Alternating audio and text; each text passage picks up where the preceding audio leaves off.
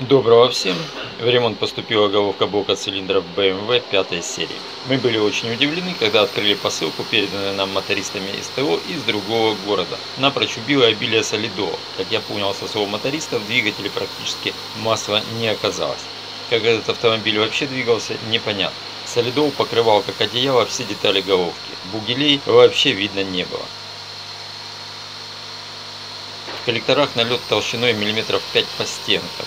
Как можно так относиться к своему авто, непонятно.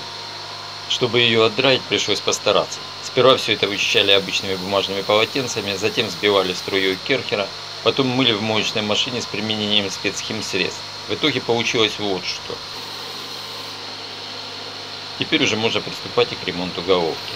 Судя по всему, в такой головке нужно ожидать и других сюрпризов. И, конечно, такой сюрприз нам преподнесла апрессовка.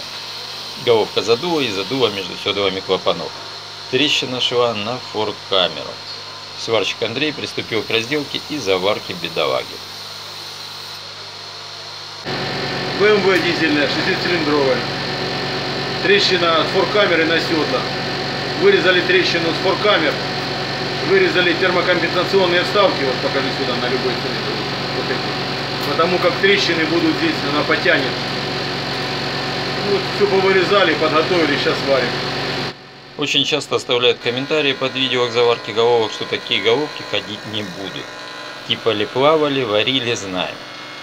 Поверьте, варим эти головки уже практически 20 лет. Было всякое, но один вывод можем сделать однозначно. Если правильно подойти к заварке, точнее даже не к заварке, а к процессу подготовки под заварку, то такая головка пройдет у нас не хуже новой. Вся беда в руках сварного, без обид кто варит. И говорят об этом те, у кого есть неудачный опыт с такими сварщиками. У нас варят и делают головки все крупные и не очень перевозчики страны. До пандемии приезжали клиенты из пограничных областей России. Со многими предприятиями мы дружим уже более 10-15 лет. И на каждую головку ставим клеймо и знаем, сколько та или иная головка прошла. Поэтому мы понимаем смысл в такой работе. Если эти предприятия к нам возят уже добрый десяток лет головки на заварку и ремонт, то значит это того стоит. Я думаю, в логике не откажешь. А все вы, кто оставляет подобные комментарии, почему-то рассуждаете голословно, забывая, что у нас многолетний опыт. Ребята, учитесь, и вы станете не хуже, и даже лучше нас это делать. Ссылки на видео по правильной заварке мы традиционно оставим в комментариях. Переходите, смотрите. По окончании сварки обязательно убедимся в целостности головки, то есть вновь опрессуем.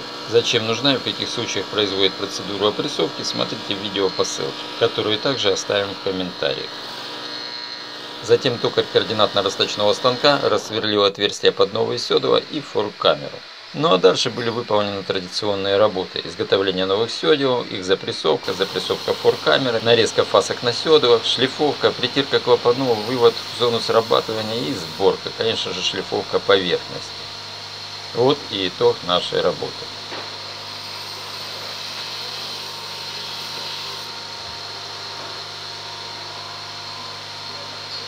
А на этом все. Оставляйте комментарии, задавайте вопросы. Обязательно ответим.